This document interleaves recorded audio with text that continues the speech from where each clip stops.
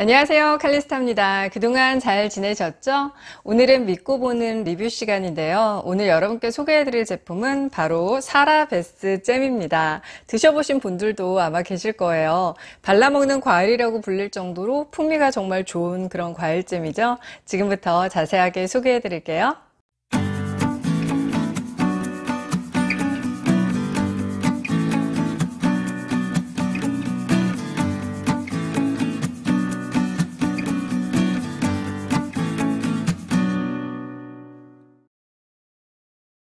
사라베스 잼의 이 사라베스라는 브랜드 이름은요, 뉴욕 출신의 사라베스 레빈이 뉴욕에 1981년에 레스토랑을 오픈하면서부터 시작된 이름이라고 합니다.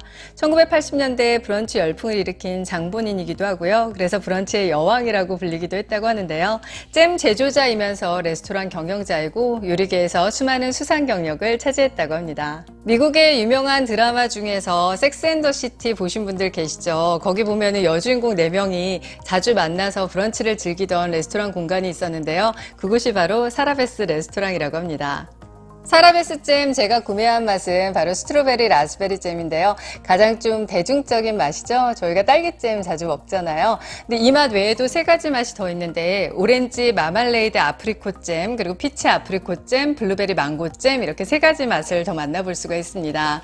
모두 신선한 과즙을 느낄 수 있음과 동시에 아주 부드러운 질감으로 기분 좋게 즐길 수 있는 그런 과일잼이에요. 사라베스 잼의 특징을 알려드리면 보통 과일잼의 경우 한 가지 맛으로 만드는 경우도 많죠. 근데 사라베스 잼의 경우는 두 가지 이상의 과일을 섞어서 깊은 풍미와 식감을 아주 조화롭고 균형 있게 발전시킨 그런 잼이라고 할 수 있고요.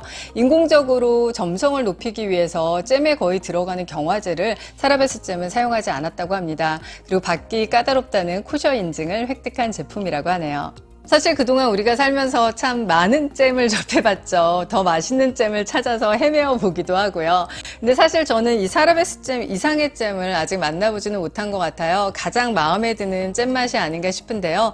보통 이렇게 잼 맛 하면은 좀 너무 설탕이 많이 들어가서 그 달달함이 나중에는 살짝 입이 얼얼할 정도로 느껴지는 그런 잼들도 있거든요. 근데 사라베스 잼에는 설탕이 많이 들어가지 않아서 그런지 단맛도 아주 가볍게 느껴지면서 그리고 전체적으로 전체적으로 과일의 풍미가 그대로 살아있어서요. 정말 맨입에 먹어도 맛있는 그런 잼이 아닌가 싶습니다. 미국 현지 생산을 또 고수를 하고 있어서요. 뉴욕 직영 공장에서만 엄격한 관리하에 생산이 되고 있다고 하는데 그런 면이 또 저희가 안심하고 믿고 먹을 수 있는 이유 중에 하나이기도 합니다.